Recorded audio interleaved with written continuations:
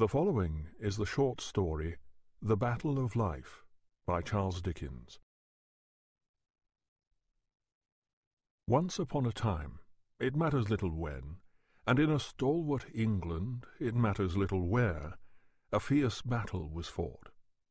It was fought upon a long summer day when the waving grass was green.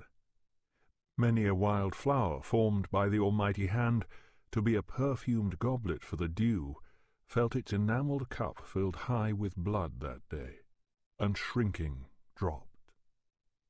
Many an insect, deriving its delicate colour from harmless leaves and herbs, was stained anew that day by dying men, and marked its frightened way with an unnatural track. The painted butterfly took blood into the air upon the edges of its wings. The stream ran red.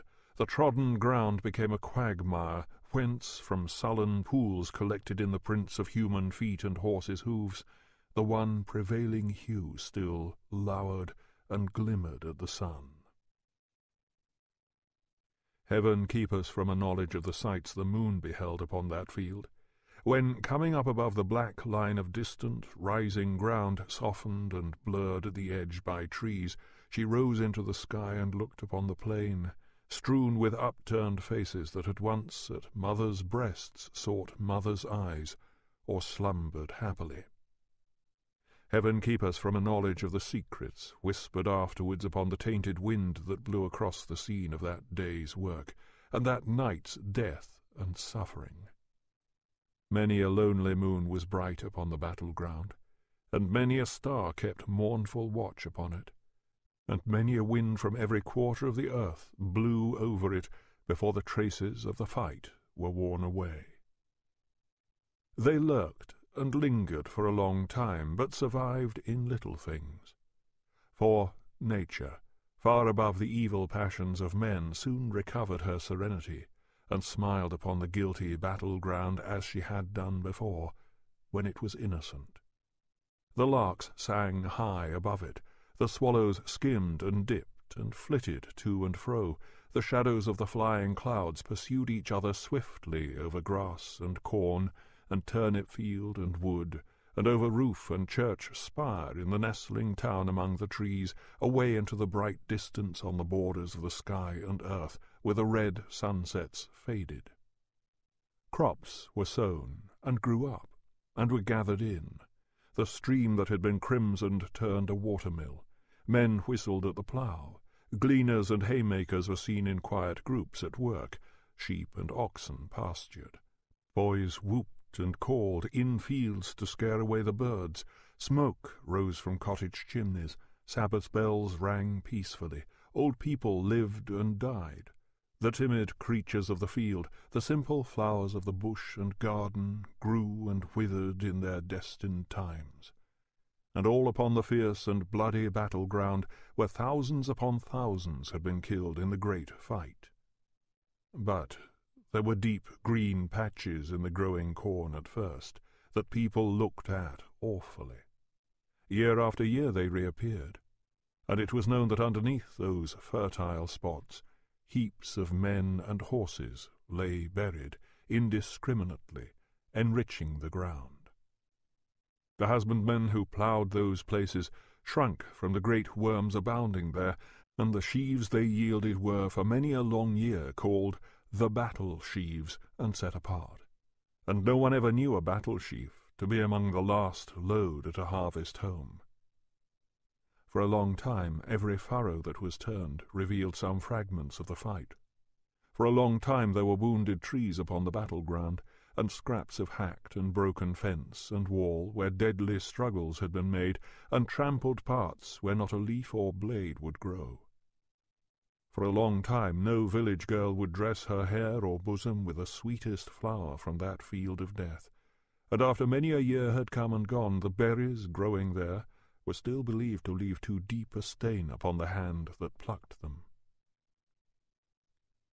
The seasons, in their course, however, though they passed as lightly as the summer clouds themselves, obliterated in the lapse of time even these remains of the old conflict, and wore away such legendary traces of it as the neighbouring people carried in their minds, until they dwindled into old wives' tales, dimly remembered round the winter fire, and waning every year. Where the wild flowers and berries had so long remained upon the stem untouched, gardens arose, and houses were built, and children played at battles on the turf.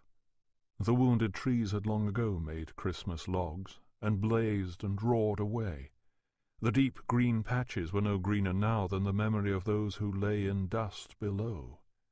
The ploughshare still turned up from time to time some rusty bits of metal, but it was hard to say what use they had ever served, and those who found them wondered and disputed.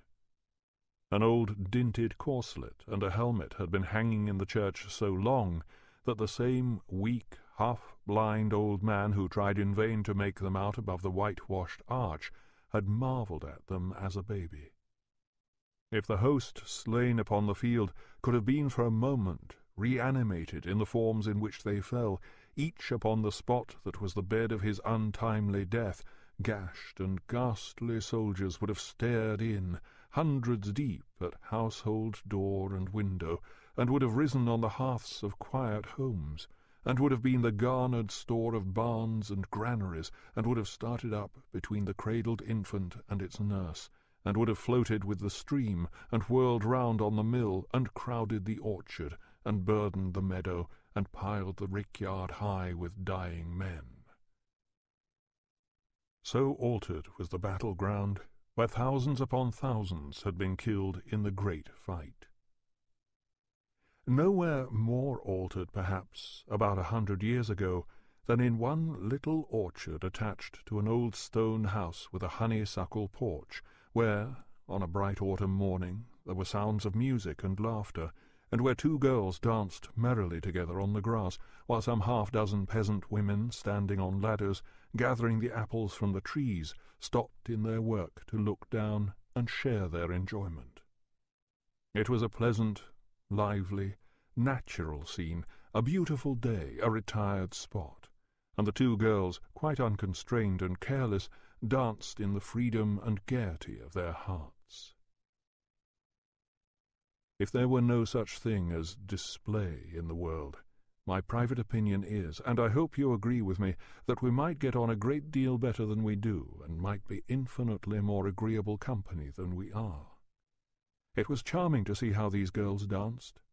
They had no spectators but the apple pickers on the ladders. They were very glad to please them, but they danced to please themselves, or at least you would have supposed so, and you could no more help admiring than they could help dancing. How they did dance! Not like opera dancers, not at all, and not like Madame Anybody's finished pupils, not the least. It was not quadrille dancing, nor minuet dancing, nor even country dance dancing. It was neither in the old style, nor the new style, nor the French style nor the English style, though it may have been by accident a trifle in the Spanish style, which is a free and joyous one, I am told, deriving a delightful air of off-hand inspiration from the chirping little castanets. As they danced among the orchard trees, and down the groves of stems, and back again, and twirled each other lightly round and round, the influence of their airy motion seemed to spread and spread in the sun-lighted scene like an expanding circle in the water. Their streaming hair and fluttering skirts, the elastic grass beneath their feet, the boughs that rustled in the morning air, the flashing leaves, the speckled shadows on the soft green ground, the balmy wind that swept along the landscape, glad to turn the distant windmill cheerily, everything between the two girls and the man and team at plough upon the ridge of land, where they showed against the sky as if they were the last things in the world, seemed dancing